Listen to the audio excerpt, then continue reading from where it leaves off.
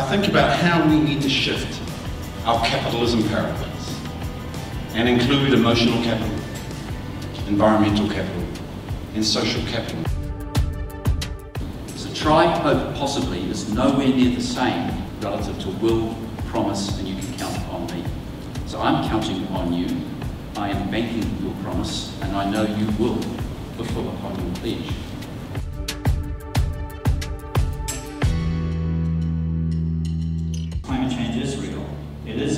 It is bad, and we can fix it. And that's where you all are. Uh, is, is that we can fix it. We couldn't do it without you. So the idea behind Climate X was to bring together a number of people from across the different um, signatories, people who are really passionate about climate change, thinking about how they might solve. We were looking for different sets of skills, experiences, and mostly we're looking for people who a can-do attitude. This is an opportunity for us as business leaders to tell the people who care that we are working on these issues, that we're taking this stuff seriously, because there is a, a really high degree of concern out there, and people want to know that the people that they trust are focused on working on these issues.